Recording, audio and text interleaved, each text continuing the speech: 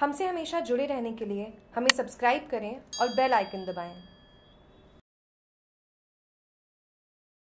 All India high court मुख्य पीठ lawyers cricket league 2018 कल से। Rajasthan High Court lawyers association Jodhpur के तत्वावधान में 21 नवंबर से 24 नवंबर तक अखिल भारतीय उच्च न्यायालय मुख्य पीठ लॉयर्स क्रिकेट लीग 2018 का आयोजन जोधपुर में किया जा रहा है। इस क्रिकेट लीग में देश भर ऐसी सात और एक जोधपुर मुख्य पीठ की क्रिकेट टीम भाग ले रही है। यह जानकारी राजस्थान हाईकोर्ट लॉयर्स एसोसिएशन के अध्यक्ष सुनील जोशी और महासचिव तथा आयोजन सचिव मृगराज सिंह ने संवाददाता सम्मेलन में दी। उन्होंने बताया कि 21 से 24 नवंबर तक चलने वाली इस क्रिकेट लीग मैच के दौरान supreme court bar association, Allahabad bar association, A और B, Gujarat bar association, Punjab and Haryana bar association, Jharkhand bar association, Jammu and Kashmir bar association के अलावा राजस्थान उच्च न्यायालय, जोधपुर के अधिवक्ताओं की टीम भाग ले रही है। उन्होंने बताया कि प्रतियोगिता का आयोजन बरकतुल्ला खान स्टेडियम और मयूर चौपासनी स्कूल के क्रिकेट स्टेडियम में किया जा रहा है। समापन समारोह और ट्रॉफी वितरण समारोह 24 नवंबर की शाम को जोधपुर ग्रीन शिकारगढ़ में आयोजित किया जाएगा। सुप्रीम कोर्ट बार एसोसिएशन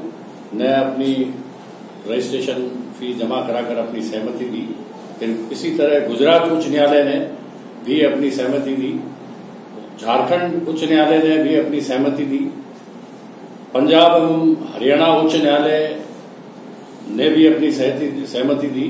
इसी प्रकार जम्मू एंड कश्मीर उच्च न्यायालय ने भी अपनी सहमति दी और सहमति देने के साथ ही उन्होंने अपनी जो ज़रूरी रजिस्ट्रेशन फ़ीस है वो जमा करवाई और प्रत्येक उच्च न्यायालय से कुल पंद्रह सदस्यों की टीम हमारे यहाँ आज तकरीबन सारी टीमें पहुँच चुकी है। एक दो टीम जो है, अभी वो भी जो फ़्लाइट से रवाना हुई है, वो आज लगभग तीन बजे पहुँच जाएँगे।